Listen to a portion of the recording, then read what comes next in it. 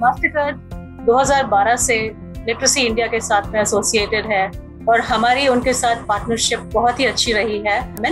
हमारा Mastercard का CSR का ऑब्जेक्टिव है कि हम वुमेन आंट्रप्रन्योर्स को किस तरह से फाइनेंशियल इंक्लूजन के बारे में एजुकेट करें, क्योंकि बहुत सारे वुमेन और जो यूथ है, उनके पास स्किल्स जो हैं, मगर उनको शार्प करना पड़ता है।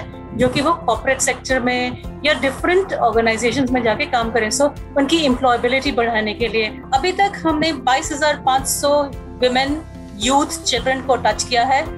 हमारे लिए ये बहुत ही स्ट्रॉन्ग पार्टनरशिप रही है और हम इसको आगे भी आगे बढ़ाते रहेंगे।